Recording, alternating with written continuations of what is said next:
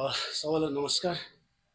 र विशेष गरेर आज यो प्रेस भेलामा आउनुको मुख्य कारण चाहिँ के हो भन्दाखेरि विगत केही दिन अगाडि सोम अनि सिङताम चियाबारीलाई जोड्ने जुन काठको पुल भाँचिएर एउटा दुर्घटना घटेको थियो अनि दुर्घटनामा परि हाम्रो न्युज ट्वेन्टी फोरको सम्पादक पत्रकार साथी सुरज राई सिकिस्त अवस्थामा हुनुहुन्छ अनि उहाँको अहिले ट्रिटमेन्ट चलिरहेको छ।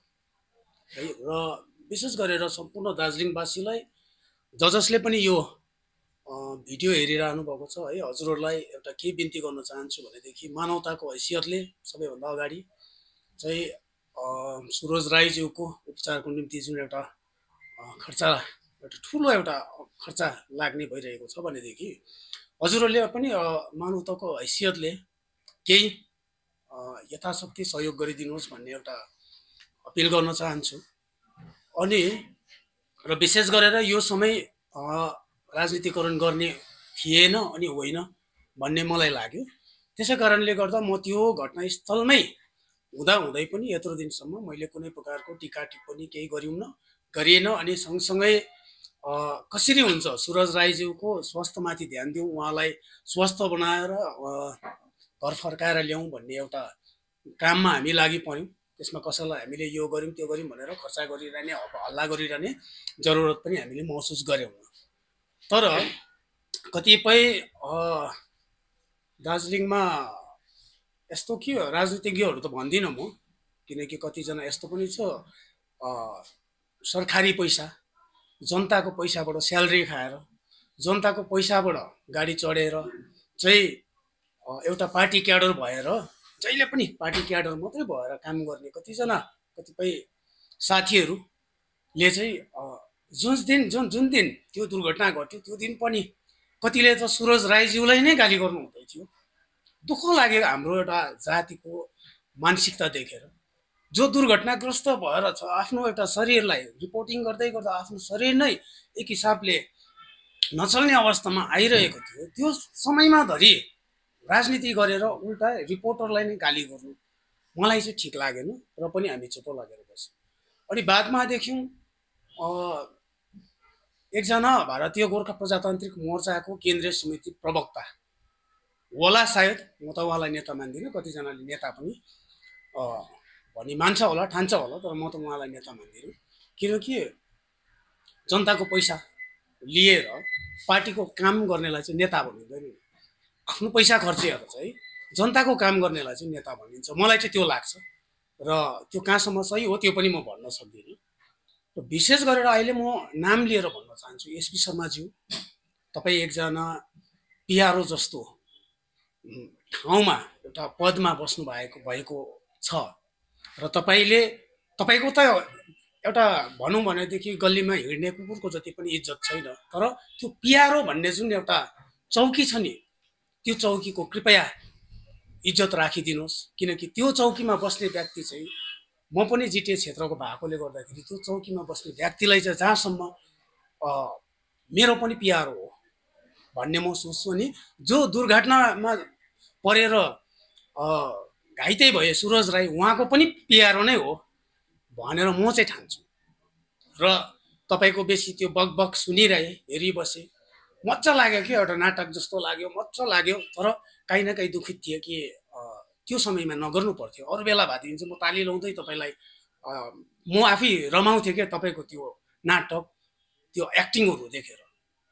तर आज म रमाउने स्थितिमा छुइनँ किनकि सुरज राईको स्थिति आर्थिक स्थिति पनि अनि उहाँ सिकिस्त नै हुनुहुन्छ भन्नु पर्यो। किनकि झन्डै झन्डै अब मैले देख्दाखेरि उहाँ फर्किएर अस्पतालबाट फर्केर घर आउँदा झन्डै झन्डै छ लाख रुपियाँ जस्तो खर्च हुन्छ होला। अनि त्यसपछि पनि उहाँले सायद जीवनमा साधारण मानिसहरूले जस्तो काम गरेर खानु सक्नुहुन्न होला भन्ने एउटा चिन्ताले हामीलाई सताइरहेको छ।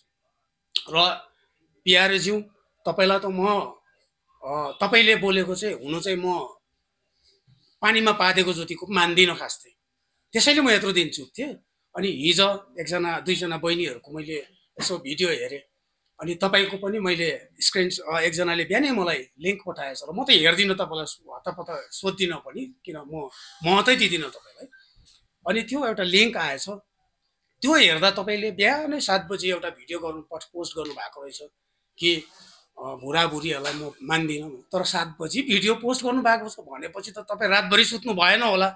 त्यो बुढाबुढीको भिडियो सुनेर हेरेर जस्तो मलाई लाग्यो। र आज तपाईँले जुन प्रकारको मेरो नाम मेरो भिडियो चलाएर समाजमा एउटा गलत म्यासेजहरू फैलाउनु हुँदैछ कि त्यहाँनिर षड्यन्त्रपूर्ण यो घटना हो त्यहाँनिर यस्तो भएको मार्नु लगेको प्लान थियो भनेर जुन प्रकारको गर्नुभएको छ त्यसको विरुद्धमा सदर सदर अस्पताल सदर थानामा गएर मैले तपाईँ विरुद्ध एउटा एफआइआर दर्ज गराएको छु अनि उहाँहरूले रिसिभ चाहिँ गर्नुभएको छ एफआइआर भयो भएन त्यो उहाँहरूले जान्दछ त्यसको निम्ति हामी पछि बात बात गर्नेछौँ।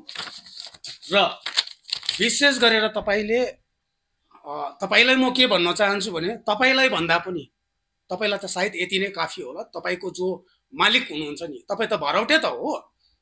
भाडामा चल्ने व्यक्ति भरौटे। गाडीको भाडा पनि जनताको। अनि तपाईँले भात खाएको पैसा पनि जनताको भनेपछि तपाईँ खासै भरौटे। तर जनताको काम गर्नुको निम्ति तपाईँलाई भाडा दिएको तर तपाईँले एउटा पार्टीको काम गर्नुहुँदैछ। तपाईँलाई म जानकारी गराउन चाहन्छु।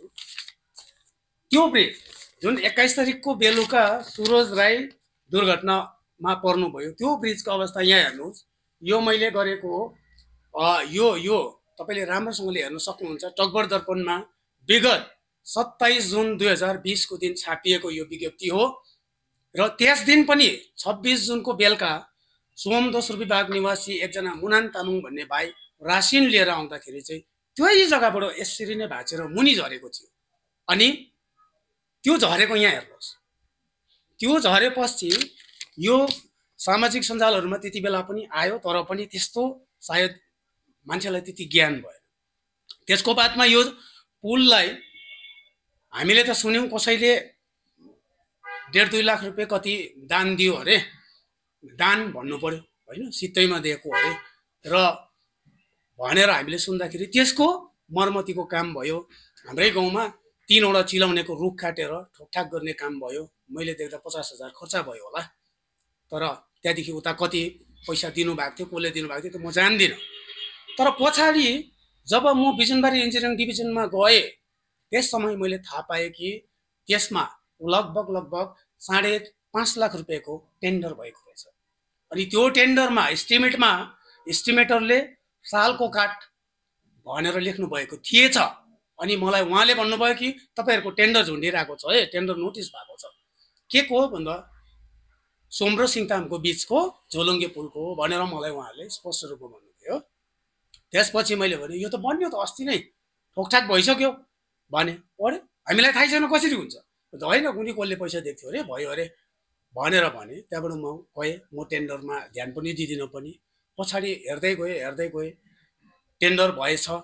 टेन्डर भएर कसैले वर्क अर्डर पनि पाएछ। होइन? अहिले म नाम खुलासा गर्दिनँ किनभनेदेखि अफिसियल कागजपत्र मेरोमा छैन म आरटिआई गर्दैछु। पाँच लाखभन्दा बेसी पाँच लाख छत्तिस हजार जस्तोको कतिको एउटा टेन्डर भएको रहेछ। अनि त्यो टेन्डर पश्चात चाहिँ एकैवटा काँटी पनि ठोकिएन यो पुलमा। एकैवटा काँटी पनि नठोकिनुको कारण नै मैले फेरि तेह्र मे दुई हजार चौबिसको दिन मनोज बोकोटेज्यूलाई हाम्रो खबर म्यागजिनको पत्रकारलाई निम्ति आएर त्यही साँगोमा मैले एउटा पत्रकार सम्मेलन नै गरेको थिएँ। अनि त्यस समय मैले बोलेको सुन्नुहोस् तपाईँले यदि जिटिए चिफ अनि पिआरओले पनि सुन्नुहोस् कि मैले के भनेको छु भन्दाखेरि यहाँ चाहिँ पक्रिएर बोल्नुपर्छ। मान्छे हिँड्नु छोडिसक्यो मान्छे हिँड्नु सम्भावना छैन यहाँनिर। दुर्घटना घट्ने सम्भावना छ। भनेर भनेको थिएँ अनि मान्छे हिँड्नु छोडेको थियो। तर विगत दुई अक्टोबरको दिन फेरि एउटा ठुलो भल आएर चाहिँ खोला डल्लै बगाएर बाटो बन्द भएकोले गर्दा सोम चियाबारी निवासीहरू चाहिँ घोडामा रासिन बोकेर स्टुडेन्टहरू स्कुल जाँदा यही पुल भएर आउजाउ गरिरहेको थियो अनि जुन दिन दुर्घटना घट्यो त्यो दिन पनि त्यहाँनिर स्टुडेन्टहरूदेखि लिएर स्टुडेन्ट होइन त्यहाँ लोकलले मान्छेहरू ओहोरदोहोर गरिरहेको थियो। त्यहाँ भिडियोमा तपाईँले स्पष्ट रूपमा देख्न सक्नुहुन्छ। अनि अर्को तपाईँलाई जानकारी दिन चाहन्छु डिपार्टमेन्टलाई पनि के हो भन्दाखेरि चाहिँ सुरज राईको दुर्घटना घट्नु ठिक एक हप्ता अगाडि एकजना दुध बोकेर हिँड्ने हाम्रै गाउँको दिदी म भाउजू भनेर सम्बोधन गर्छु उहाँलाई लिडिया तामाङको पनि त्यही ब्रिजमा खुट्टा छिरेर चाहिँ झन्डै झन्डै उहाँको पनि ठुलो दुर्घटना भएको थियो। अनि त्यहाँदेखि आज आएर यो एक्काइस तारिकको दुर्घटना। अनि तपाईँलाई त रमाउनु मजा आएछ। है हामी चाहिँ दुःखी थियौँ।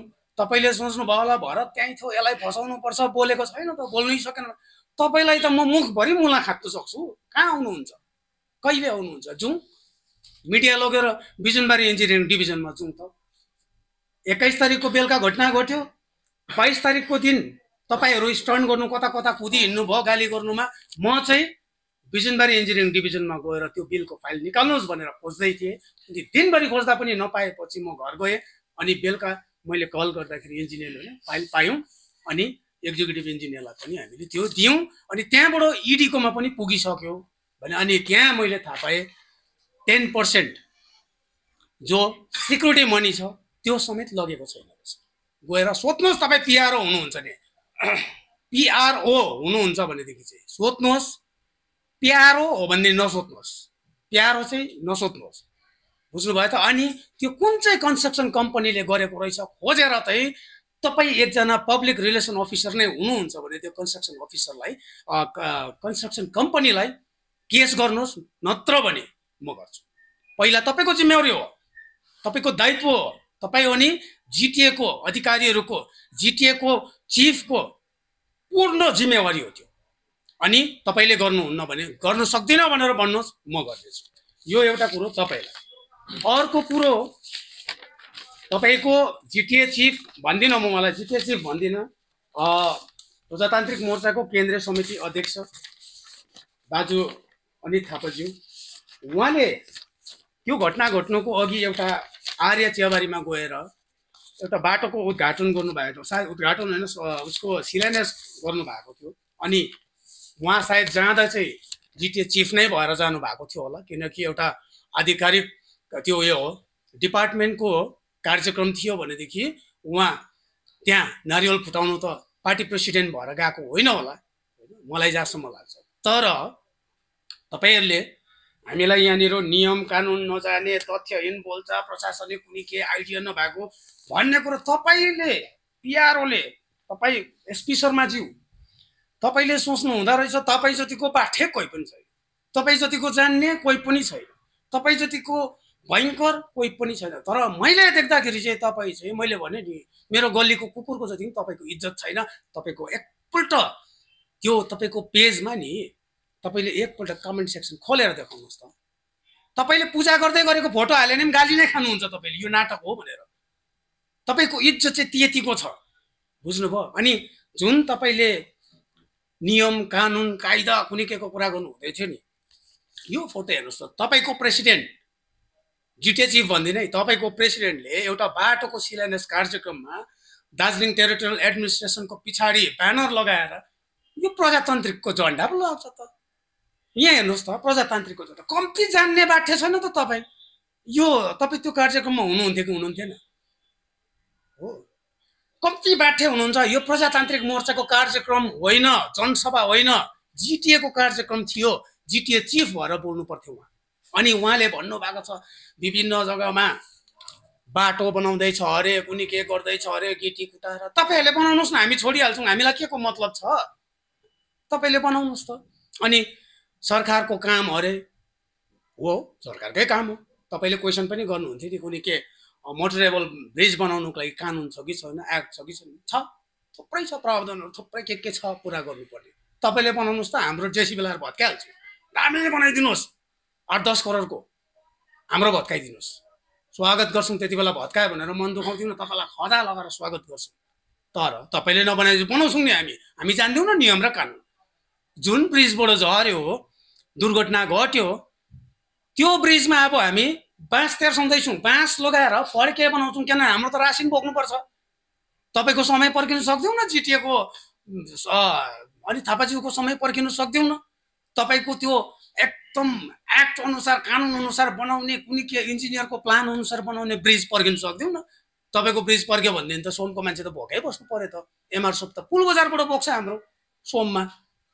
घोडाले लास लाग्दैन घोडाले? भन्दा मलाई त तपाईँलाई लाज हुनुपर्ने। तपाईँहरूलाई जो सत्तामा छ। अनि समय लाग्छ कति समय? यो चाहिँ मैले मेरो यो चाहिँ जिटिए चिफलाई प्रश्न। यो पिआरओ सिआरओ कुनैको त्यो भरौटेहरूलाई होइन। त्यो अरूलाई मेरो हुँदै होइन जि यो मेरो प्रश्न चाहिँ जिटिए चिफलाई के हो भन्दा चाहिँ कति समय लाग्छ दाजु? यहाँ हेर्नुहोस् त यो। यहाँनिर हो यो सोम सेकेन्ड डिभिजन दोस्रो विभागको डाँडा गाउँको सार्वजनिक भवन। भवन यस्तो हुन्छ? दाजु भवन यस्तो हुन्छ? दुई हजार उन्नाइसको लोकसभा चुनाव अगाडि तपाईँले टेन्डर पनि गराएको छ यसको। टेन्डर गराएर वर्क अर्डर पनि इस्यु भएको थियो अनि यहाँनिर एउटा पुरानो काठको स्कुल हो पछाडिबाट सार्वजनिक हलको रूपमा त्यसलाई चलाइँदै थियो भनेदेखि सञ्चालन हुँदै थियो भने द बाह्रवटा पोस्ट हाल्नु भएको छ। दस लाख रुपियाँमा। झन्डै झन्डै लाख रुपियाँ गोटा पोस्ट कस्तो खाले महँगो कस्तो सिमेन्ट लाउनु भयो यहाँ? कस्तो ढुङ्गा र गिटी बल्ल लाउनु भयो? यो जिटिए चिफलाई क्वेसन अनि यो दुई हजार उन्नाइसको लोकसभा चुनाव अगाडि जति बेला चाहिँ एमपी राजु विष्ट हुनुभयो जितेर त्यसको ठिक पाँच वर्ष पछाडि मैले नै फेरि डिपार्टमेन्टलाई प्रेसराइज गर्दा यताउता गर्दाखेरि अर्को दुई हजार चौबिसको लोकसभा चुनावमा दोस्रोपल्ट एमपी राजु विष्टजी हुँदाखेरि एक गाडी बलुवा झऱ्यो। एक गाडी बलुवा एक माझ्दा दुई हजार चौबिसको। दुई हजार चौबिसको चुनाव लोकसभा चुनाव अगाडि। अनि उन्नाइसमा टेन्डर त उन्नाइसमा भएको उन्नाइसमा बाह्रवटा पोस्ट गएर चौबिसमा पाँच वर्ष पछाडि एक माझ्दा बलुवा त्यो एक माझ्दा बलुवा पनि उठाएर लग्यो। अर्को जग्गा लग्यो।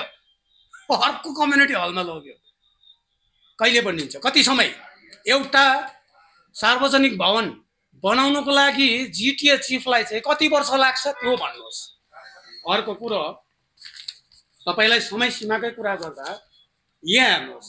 गोर्खाल्यान्ड क्षेत्रीय प्रशासन केन्द्रीय योजना गुणवत्ता नियन्त्रण एवं प्राप्त अभियान्त्रिकी विभाग भनेर चाहिँ दुई हजार बिसको एघार डिसेम्बरको दिन शिलान्यास भएको यो सोमको रोड सोम फाटकदेखि बालवाससम्म।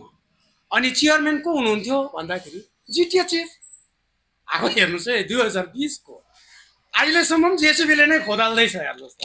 कस्तो खाले जेसिबी लाउनु भएको? चार वर्ष पुरा भयो।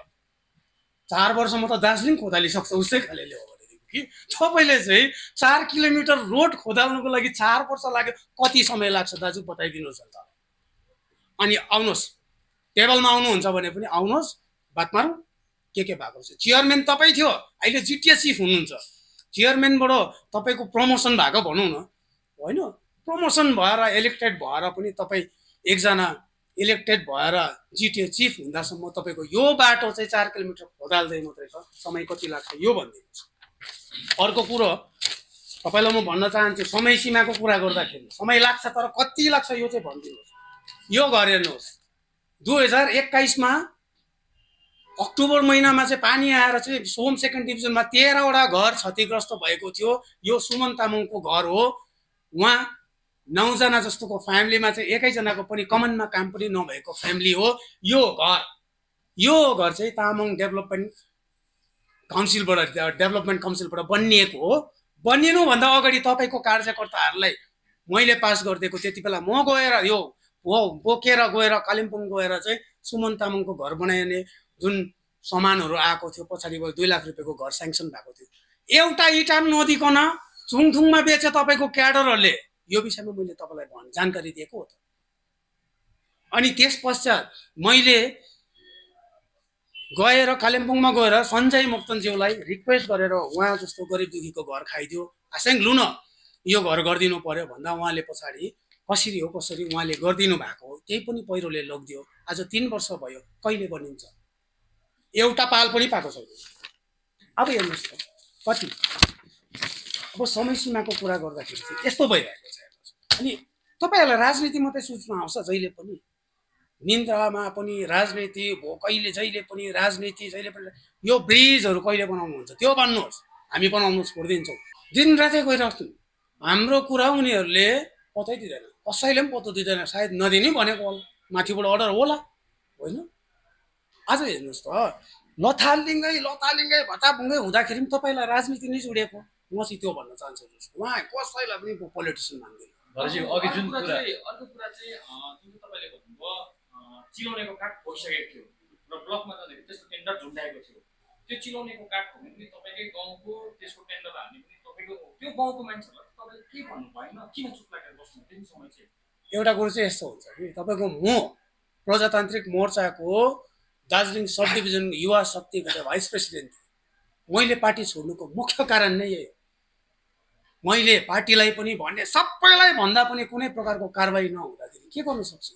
पार्टी छोडेर निस्किनु सक्छु कुट्नु सक्दिनँ मार्नु सक्दिनँ लडाइँ खेल्नु सक्दिनँ सकिँदैन नि सत्तासँग होइन? सत्तासँग जुझ्नु सकिँदैन नि अनि यस्तो छ। मैले जुन सिङताम र सोमको जुन चाहिँ ब्रिजमा सालको काठ टेन्डरमा लेख्दै लेख्दै अगाडि नै चिलाउनेको काठ ठोकियो त्यस्तै सिङताम र चुन्थुमा जुन चाहिँ अहिले त्यहाँ ग्लास लगाएको ब्रिज छ त्यसमा पनि सालको काठ नै लेखेको छ। त्यसमा तपाईँले नै पिप्लेको काठ सबै गर्नु किन तपाईँले चाहिँ यस्तो? हुन्छ कि? तपाईँको हेर्नुहोस् है। सालको काठ यहाँ चाहिँ किन पिप्ले काठ हाल्नुभयो? राजनीति यस्तो छ कि मैले पटक्कै मुख नखोलौँ भन्छु होइन। अनि मुख नखोलौँ भन्दाखेरि खोल्नु कर लाग्छ कतिवटा कुरा। है तपाईँको यहाँनिर चाहिँ जहिले पनि भरतलाई दोस्याउने होइन? भरतले मैले सोसियल मिडियातिर पनि हेरेको छु। त्यो ब्रिज बनाउने त तिमी होइन? कहिले? कहाँ? पत्रकारहरूलाई पनि एउटा गलत इन्फर्मेसन दिएर भरतले गरेको भन्ने छ। भारतले सप्लाई गर्यो। यो एकदमै होइन तपाईँले यो बुझ्नु सक्नुहुन्छ। यसको लागि म तपाईँहरूलाई कहाँ गरेको म रुखको ठुटासम्म देखाउन सक्छु। दुइटै ब्रिजको टाकटुक के भएको छ। इन्जिनियरले त्यहाँनिर आएर काठ हेरेर सबै गरेर ठोक्नु कसैलाई नदिएको। म पनि थिएँ त्यहाँनिर। ठोक्नु नदिनु एउटा काठ ठोक्लास् भनेर भनेको थियो। पछाडि गएर त्यहाँदेखि रङ दलेर त्यो काठ ठोक्नु लायो। लगाइसकेपछि त्यहाँनिर राजनीतिकरण भइसकेपछि बिल रोकिएको त्यो कुरा मलाई पनि थाहा छ अझै होइन? अनि काठ चिन्ने मान्छे डिपार्टमेन्टले बोलाउँदाखेरि के भन्यो भन्दाखेरि यस्तो खाले उनीहरू पनि कन्फ्युजनमा छ। त्यही काठको ठुलो फट्टा यो चाहिँ साँगोमै ठोकेको हो भन्ने कन्फर्म भयो नि त। साँगोबाट उकार लगेको हो नि त। यो चाहिँ पिप्ली भन्दै त्यसकै ठुटालाई फेरि यो चाहिँ सखुवा काठ हो अब हेर्नुहोस् त। गर्नु गरेको छ क्षेत्रमा। गर्नु गरेको छ। अब एउटा हेर्नुहोस् है म चाहिँ यदि प्रमाणित हुन्छ र जेल जानुपर्छ भने म त भन्छु कन्ट्र्याक्टरलाई ब्ल्याकलिस्ट गर। जस्तै यो अल्लो अल्लो जुन दुर्घटना भयो त्यसमा पनि जो कन्स्ट्रक्सन कम्पनी छ म अहिले नाम लिन चाहदिनँ। उसलाई उसको लाइसेन्स रद्द गर भन्छ। अर्को पनि यदि त्यस्तै हो भनेदेखि गएर लाइसेन्स रद्द गर भन्छ। उसलाई सेकेन्ड टाइम ठेगा दिनु हुँदैन। उसले टेन्डर पाएको हुनु हुँदैन म यहाँबाट भन्छु। अनि किन तपाईँले नलिनु भएको? नाम? नलिनुको पछि चाहिँ एउटा कुरो के छ भन्दाखेरि। नाम नलिनुको पछाडि चाहिँ के छ भन्दाखेरि चाहिँ हेर्नुहोस् है मसँग अहिले यहाँनिर पेपर छैन नि उहाँको। होइन मैले आँखाले त देखेर आएँ तर प्रमाण बिना बोल्नु हुँदैन मान्छे। म प्रमाण देखाएर बोल्छु आरटिआई हालिरहेको छु म अर्डर माग्छु त्यहाँनिर हो। अनि मैले अहिले सुन्दाखेरि चाहिँ के रहेछ भन्दाखेरि चाहिँ जुन यो अहिले दुर्घटना भयो नि यो ब्रिजमा चाहिँ पहिला पहिला काम गरिसक्यो डिपार्टमेन्टलाई थाहा थिएन टेन्डर भयो बिल खाइयो तर बिल खानु त अप्ठ्यारो भयो त्यहाँ? त्यो हुँदाखेरि चाहिँ इस्टिमेट रिभाइज गरेको छ। अनि यो कसको कन्ट्र्याक्टरले आफै गर्नु सक्ने होइन? इस्टिमेटरले आफै गर्नु सक्ने होइन? जो चौकीमा छ उसैले त गराउँछ होइन? गरिदेऊ न भनेर जिम्मेवार को हुन्छ? अनि ऊ जिम्मेवार हुनुपर्छ। त्यसैले म भन्न चाहन्छु अहिले अहिले भन्न चाहन्छु कि उहाँहरूले जिटिएले चाहिँ सुरज राईज्यूको जति पनि ट्रिटमेन्टमा खर्च भइरहेछ यो जिटिएले उठाउनुपर्छ भन्ने चाहिँ मेरो माग छ अनि सँगसँगै हुनसक्छ। राम्रो होस् त भन्छौँ सुरज राईलाई। राम्रो होस् तर डक्टर हामी डक्टर होइनौँ। मेडिकल साइन्सबारे हामी जान्दैनौँ। यदि भविष्यमा उहाँलाई केही पनि असुविधा हुनसक्छ भनेदेखि म चाहिँ भन्न चाहन्छु जिटिएले उहाँलाई एउटा नोकरी दिएको हुनुपर्छ किनकि उहाँ त भोलिको दिनमा सायद हामी ढुङ्गा बोकेर खान सक्छौँ होला उहाँले सक्दैन होला। स्पाइनल कर्ड भनेपछि हामीलाई त्यो एउटा डर त छ। म यहाँबाट एउटा त्यो एउटा उहाँहरूलाई माग राख्न चाहन्छु। अनि ज जसलाई चाहिँ यो माग जायज होइन भन्ने लाग्छ। उहाँहरू टेबलमा आओस् न। उहाँहरूसँग बात गर्छौँ म टेबलमा आओस्। किनकि-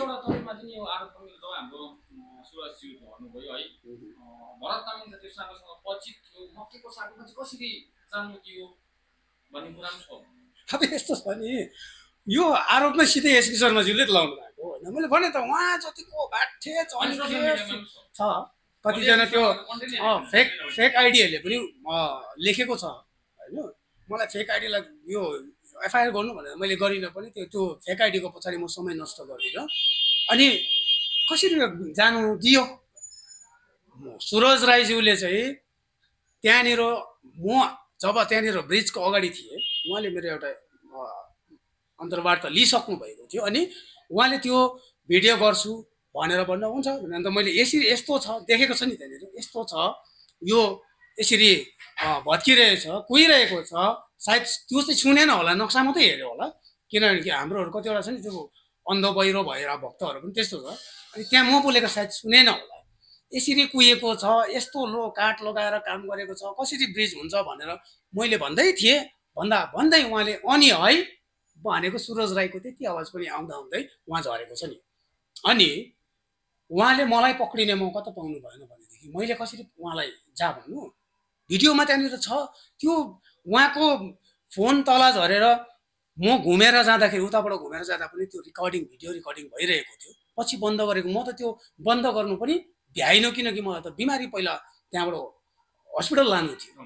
अनि जसले आरोप लाउँछ नि आरोप लाउनेहरूलाई त म त भने नि आउनु त अन्त। एउटा टेबलमा आउनु त म जवाब दिन्छु।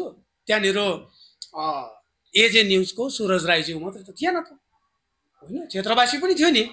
त्यहाँ अर्जुन राई प्रत्यक्षदर्शीले त्यहाँ पछाडि अर्को कुन चाहिँ च्यानलमा सायद उहाँको छोटो एउटा भिडियो पनि देखेको छु।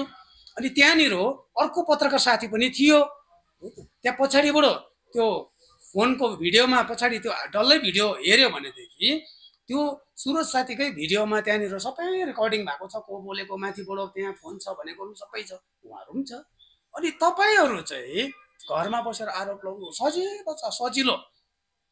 मैले यति चाहिँ भन्दैछु तपाईँहरूलाई आरोप लगाउनु छ भने आउनुहोस् न टेबलमा। लाइभ त्यो पनि रेकर्डिङ गरेर लाइभ गरेर बस्नु को बस्छ? जिटिए चिफ कि भरौटेहरू? त्यो साँको त्यस्तो हुनुमा सम्झिनुमा तपाईँको गाउँवासीको मान्छेको दोष छ कि छैन? म त छ भन्छु। म त छ भन्छु नि। काम गर्नेहरू वरिपरिको पनि हो नि त। अन्त कसरी छैन भन्नु? उहाँहरूलाई न रोज मात्रै दिएको छ। डिपार्टमेन्ट भन्दा उनीहरू बेसी दोषी छ। त्यो पनि हुनसक्छ। किनकि एउटा कुरो त हो गाउँवासीले विरोध गर्नैपर्छ कतिवटा कुरा। होइन?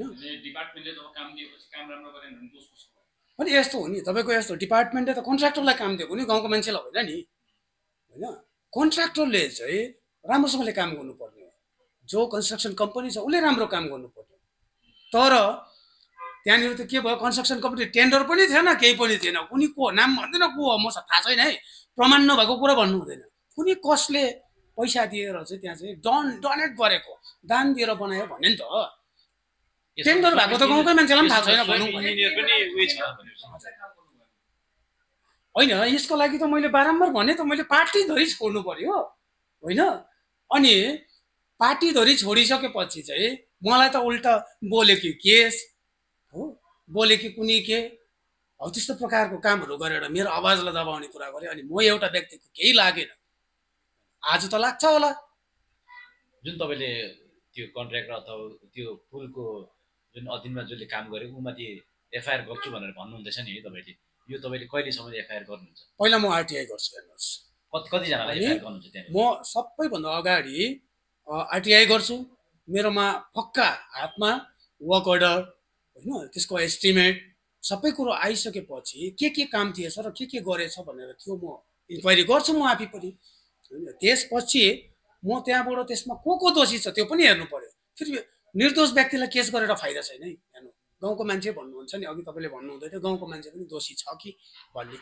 हुनसक्छ दोषी। तर कतिपय दाजुभाइ दिदीबहिनीहरूले त कुरा बुझ्दैन नि यहाँ के गर्नुपर्छ कसो गर्नुपर्छ होइन? बाटो बन्यो भन्ने बित्तिकै कालो देख्यो भने खुसी भइहाल्छ नि त उनीहरू। के कसो गर्नुपर्छ थाहा हुँदैन उनीहरूलाई। हामीलाई थाहा हुँदैन होइन? हामीलाई थाहा हुँदैन भनेदेखि बिचरा अन्जानमा त्यहाँनिर फँसिएको पनि हुनसक्छ।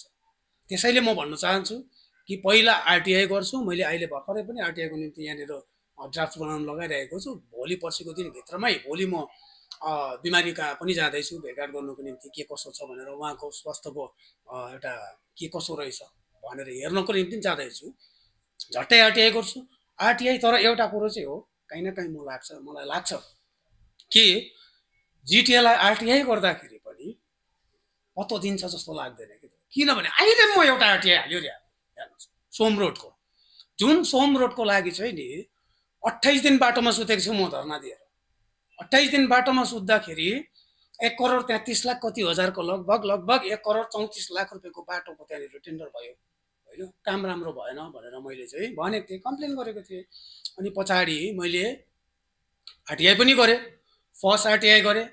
दुई महिनासम्म कुनै प्रकारको रिप्लाई गरेन। सेकेन्ड आरटिआई गरेँ जुलाई जहाँसम्म मलाई लाग्छ पाँच जुलाईको दिन गरेँ। पहिला पन्ध्र मेको दिन गरेँ। त्यहाँबाट जुलाई पाँच जुलाईको दिन फेरि गरेँ। र पनि त्यसको अहिलेसम्म मैले रिप्लाई पाउन सकेको छुइनँ अनि अहिले पनि फेरि थर्ड रिमाइन्डर एउटा आरटिआई हालिराखेर तपाईँ धर्ना नसक्यो राजु विष्टले तपाईँलाई आफैले हङ्गरिष्ट गराएको थिएँ। तपाईँको तपाईँलाई धर्नाबाट उठाएको सोमको बाटोको जिम्मा मेरो भनेको थिएँ तपाईँले राजु विष्टलाई चाहिँ नपर्नु भएन होइन राजु विष्टलाई मैले थुप्रो पल्ट गरिसकेँ त?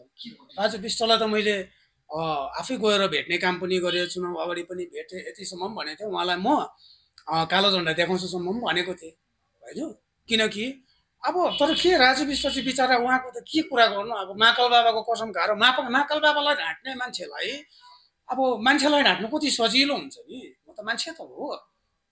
महाकाल बाबालाई छक्काउनु सक्ने मान्छेले छक्काएर पनि दुधैपल्ट एमपी हुने त फेरि। त्यत्तिको चतुर व्यक्ति रहेछ होइन। छोड्ने त कुरा आउँदैन नि। लागि पर्छ तर यहाँनिर यस्तो भएको छ कि तपाईँको म एकजना व्यक्ति भएकोले गर्दाखेरि चाहिँ नि सिस्टम पुरा पुरा केन्द्रमा बस्नेहरू भयो। पछि पनि मै लाग्नु पऱ्यो। जान्छु भनेर मैले त तयार भइसकेको थिएँ होइन? तर अब यहाँनिर यस्तो हुँदो रहेछ कि हामी जस्तो व्यक्तिलाई चाहिँ एक नम्बर त पहिला अर्थले मार्छ कि। अर्थले मारिदिन्छ। म जान्छु नितिन गडकरी होइन? हाम्रो यो त्यति बेला को थियो मन्त्री? उहाँकोमा जान्छु भनेर भनेको थियो होइन? तयारी भइसकेको पनि थियो। तर के हुँदो रहेछ भने टिकट काट्ने पैसा पनि हाम्रोमा नहुँदो रहेछ क्या। ट्रेनमा गो जानु ओर्दो समस्या होइन? एउटा पोलिटिकल पार्टी पोलिटिकल लिडरहरू त्यो पनि बलियो पार्टीहरू हातमा छ भने चाहिँ केही हुनु सक्दो रहेछ। तर तर पनि अहिले पनि हार खाएको छु जबसम्म यो शरीरबाट प्राण निस्केर जाँदैन तबसम्म हार चाहिँ म कसैसँग पनि मान्दिनँ। म त अहिले पनि भन्छु त कतिजनाले अझै एडभसज्यूसँग यस्तो त्यस्तो भन्छ। म कहिले पनि के भन्छु भनेदेखि अझै एडभसज्यूले राम्रो काम गर्दैछ राम्रै भन्दैछु मैले उहाँको बढा वाह वाह गर्दैछु। एकपल्ट अनित थापाको पनि गरेको थिएँ। गरेको है? म गरेको गरेको भन्छु नि। सोमको बाटो एक करोड तेत्तिस लाख कति हजारको स्याङ्सन गर्दा पनि मैले धन्यवाद छ। जिटिएलाई भनेर पोस्ट लेखेको थिएँ त। लेखेको थिएँ है मैले। पार्टीमा नहुँदा म कहिले त्यो अन्धो गोरु जस्तो भएर चाहिँ अँ, भदौमा अँ, के भन्छ नि आँखा फुटेको गोरु जस्तो भएर चाहिँ म हिँड्दिनँ मैले त्यति बेला। धर्नापछि उठेर चाहिँ टेन्डर भइसकेपछि जिटिएलाई धन्यवाद पनि भनेको थिएँ। त्यसरी नै त्योभन्दा अगाडि पनि एकपल्ट पहिरो जाँदाखेरि जिटिएले जिटिएले त के भन्नु त्यति बेला मैले त्यति बेला अनित दाजुलाई व्यक्तिगत रूपमा धन्यवाद धन्यवाद दिएको थिएँ। होइन? उहाँले त्यो बाटोको काम गरिदिनु भएको थियो। धन्यवाद दिएको मैले त्यति बेला। किन दिएँ भन्दाखेरि चाहिँ टेन्डर छैन के पनि छैन गरिदियो नि त मेरो गाउँको समस्या समाधान गरेको नि त त्यसलाई मैले धन्यवादै भनेको थिएँ। तर पछि त्यही वाललाई ए एक्काइस लाख कति रुपियाँको टेन्डर गरेर खाइदियो नि त त्यति बेला विरोध गरेँ। गर्छु। गर्छु पनि मारे भने मारे भने पनि डर लाग्दैन मलाई। भरत मर्छ होला विचार मर्दैन मेरो भन्ने। मलाई त्यो लाग्छ। गरि नै रहन्छु। अनि अझै एडभसज्यूले पनि भविष्यमा यदि मान्छेले गल्ती सत्तामा पुगेर गर्छ भने गर्छ बेसी जस्तो छ। घोटाला सत्तामा बस्नेले गर्छ नि त। अनि अहिले फिलहाल राम्रो काम गर्नु हुँदैछ उहाँले। त्यसैले वर्ष यो- अस्ति एकजनाले मलाई क्वेसन पनि गर्दै थियो अझै एडभसज्यूलाई सत्तामा पुऱ्याउनु पुऱ्याउँछौँ नि हामी? कोसिस छ हाम्रो गर्छौँ। ठेलेर त्यहाँसम्म पुऱ्याउने हाम्रो कोसिस हुन्छ भरसक कोसिस हुन्छ। यदि भोलिको दिनमा फेरि सत्तामा पुगेर सत्तामा पुगेर पोलिटिकल दल हो नि त हामी पोलिटिकल पार्टी हो नि त इलेक्सन लड्नै पर्छ। अनि त्यो सत्तामा पुगेर फेरि यो अहिलेको जस्तै छ नि भरौटेहरू जस्तो अहिलेको केटाहरूले जस्तो अहिलेको पोलिटिकल पार्टीको लिडरहरूले जस्तो काम गरेछ भने फेरि त्यति बेला मै हुन्छु त्यहाँ पनि अझै एडभसज्यूले काम गलत गर्यो भनेर। आवाज उठाउँछु पार्टीभित्र बसेर। त्यति बेला मानेन भने त्यति बेला पनि यो वचन हो मेरो। चाप्लुसी गरेको हुँदिनँ म त्यति बेला। त्यति बेला म पार्टी छोडेर अर्को जग्गा बसेर फेरि त्यहाँ पनि सत्ताको विरोध गरेर हुन्छु यति भन्दै सबैलाई धन्यवाद दिन चाहन्छु।